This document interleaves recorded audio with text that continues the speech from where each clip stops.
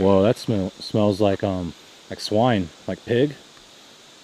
Whoa, you smell that? I smell it. That's the Like direction vinegar. we heard the rock clack. Yeah, that's the direction we heard the rock clack.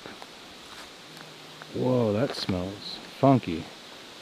Ain't me. That's Whoa, strong. that is strong. Whoa. Like, look how far we are from camp. You can still see the camper up there. Whoa, okay, we gotta figure out what this is. We gotta go that way. Now, keep in mind that David and Linda had a calf go missing. It had tears and bite marks in it, and he was trying to dress it up.